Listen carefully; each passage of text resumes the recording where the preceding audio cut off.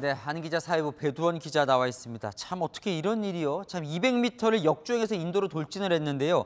그러면 사고를 낸 차량 운전자는 급발진이라고 지금 주장을 하는 거예요? 네, 맞습니다. 이 사고 차량의 이동 경로를 보면서 설명을 좀 드리겠습니다.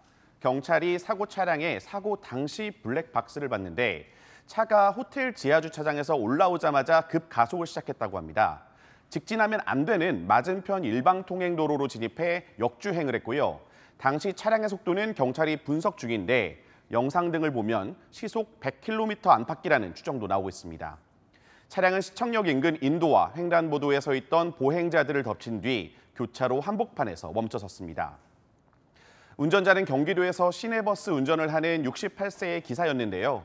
자신이 과거 서울에서도 버스를 몰아봐서 지리를 잘 알기 때문에 도로를 착각한 게 아니라는 취지로 급발진을 주장하고 있습니다. 아니 그 길이 도저히 100km가 날 수 없는 도로거든요. 아무리 역주행이라고 해도 아, 경찰은 지금 그 급발진 주장을 어떻게 보고 있는 거예요? 네, 바로 이 장면 때문에 급발진으로 보긴 어렵다는 분석이 나오고 있습니다. 사고 차량이 사고를 낸 뒤 교차로에 진입해서야 브레이크 등이 켜지고 속도가 줄어들며 스스로 멈추는 모습인데요. 이 통상 급발진 사고는 차량에 벽 같은 장애물을 들이받고 멈추는 게 일반적이라는 것이 경찰의 설명입니다. 당시 사고 목격자도 취재진에게 비슷한 얘기를 했습니다.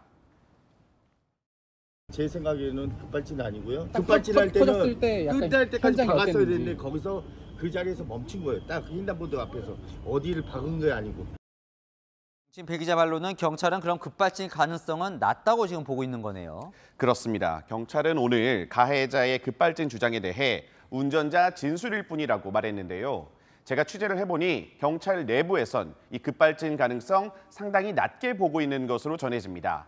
다만 최종 결론은 이 국과수의 차량 정밀 감정과 가속이나 감속 페달을 밟은 흔적이 남아있는 차량 사고 기록 장치 등을 분석한 뒤에 나올 예정입니다. 그래요. 뭐 섣부르게 결론을 낼 수는 없겠지만 급발진이 아니라고 하면 경찰은 그럼 뭐 어떤 걸 좀 찾아보고 있습니까?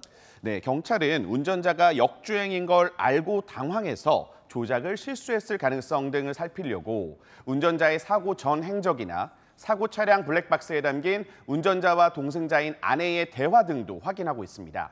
반면 사고 차량 운전자는 면허를 따고 40년 무사고라며 바퀴 달린 건 다 운전해봤다 이렇게 경찰에 진술하는 걸로 알려졌습니다. 그러니까 운전 미숙일 수는 없고 급발진이 맞다 이런 주장이죠.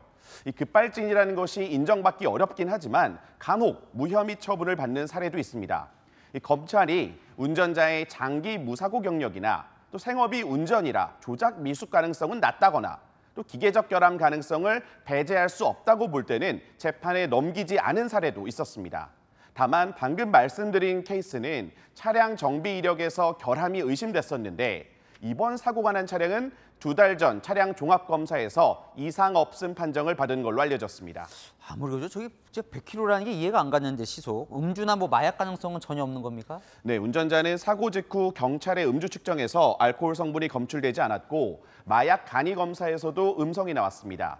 다만 다수의 인명 피해를 낸 참사인 만큼 경찰은 운전자의 혈액을 국과수에 보내 정밀 검사를 받기로 했습니다. 운전자의 과로 가능성도 살펴봐야 하는데요. 저희가 운전자가 다니는 버스 회사에 확인해 보니 하루 11시간 정도 근무하는데 격일 근무 체제라 사고가 난 어제는 쉬는 날이었다고 합니다. 네, 잘 들었습니다. 계속 잘 취재해 주시죠. 하는 기자 사회부 배두원 기자와 살펴봤습니다.